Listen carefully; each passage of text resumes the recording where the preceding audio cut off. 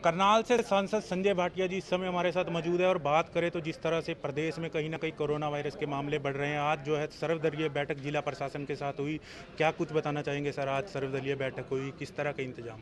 नहीं, सर्वदलीय ये है कि ये आपदा का समय है और सब हम चाहे पक्ष है, चाहे विपक्ष है, चाहे दूसरी पार्टी के लोग हैं आफ्टरऑल हम इंसान हैं, हमारे अंदर मानवता है। हम सब लोग चाहते हैं कि समाज में रहने वाले प्रत्येक व्यक्ति को अगर मेरी कुछ कोशिश से मदद मिल सकती है तो ये भाव सबके अंदर है और उसी भाव के कारण आज यहाँ पर हम सब इकट्ठा हुए हैं और यहाँ पर एक जिला प्रशासन ने टोली बनाई है, जिसमें सब डॉक्टर्स हैं, चाहे कल्पना चावला के डायरेक्टर हैं, इस तरह के और जितनी टोटल एडमिनिस्ट्रेशन है, जनप्रतिनिधि हैं, वो सब लोग आज यहाँ पर इकट्ठा हुए जो अभी हमारे पास अरेंजमेंट्स हैं उसको और जो आगे हमारे पास चैलेंजेस आने वाले हैं, उस सब का आकलन करके कुछ सोच विचार योजना की है जहाँ जहाँ कमी ऑक्सीजन की है आईसीयू बेड्स की है, सब उसके ऊपर विचार किया है। लेकिन मुझे एक बात का सुकून भी है कि सभी लोग ईमानदारी से इस समय के अंदर, चाहे वो डॉक्टर्स हैं, चाहे पैरामेडिकल स्टाफ है या एडमिनिस्ट्रेशन के लोग हैं मैं इनको सल्यूट करता हूँ और ये सब लगे। लेकिन इनमें मैं चाहता हूँ कि पब्लिक पार्टिसिपेशन भी रहे सामाजिक संस्थाएँ भी जगह जगह से मैसेज आ रहा है अपनी तरफ़ से ऑफ़र कर रहे हैं लोग डोनेशन करने के लिए भी तैयार हैं। ये हमारी एक आ, कहता हूँ कि संस्कृति है हमारे देश की और ख़ास तौर पे करनाल और पानीपत की।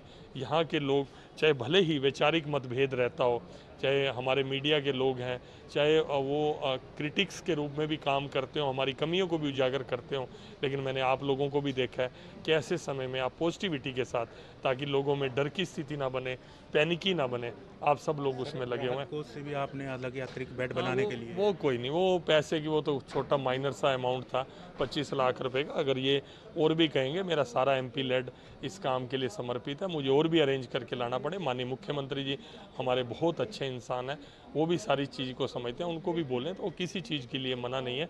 उस चीज़ के लिए संसाधनों की कमी, इन सारी सुविधाओं को जुटाने में वो नहीं आने दी जाएगी। लेकिन जैसे प्रधानमंत्री जी ने आज पूरे हर डिस्ट्रिक्ट के लिए अनाउंस कर दिया।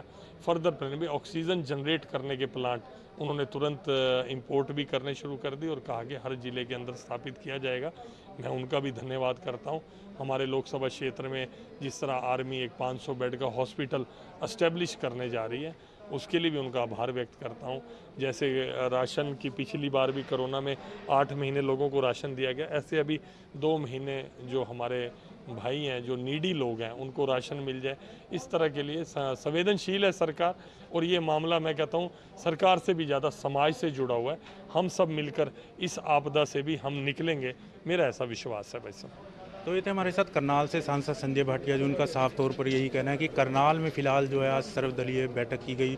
कहीं ना कहीं जिला प्रशासन और स्वास्थ्य विभाग के जो है करनाल में जो है कोरोना के मामले जिस तरह से बढ़े, उसको लेकर कहीं ना कहीं फ़िलहाल पुख्ता इंतज़ाम है। बात करें तो गैस सिलेंडर ऑक्सीजन की बात करें या बेड की बात कीजिए, फ़िलहाल जो है करनाल स्वास्थ्य विभाग की तैयारियाँ कहीं ना कहीं मुकम्मल दिखाई दे रही है। करनाल से एम न्यूज़ के लिए कमल की रिपोर्ट।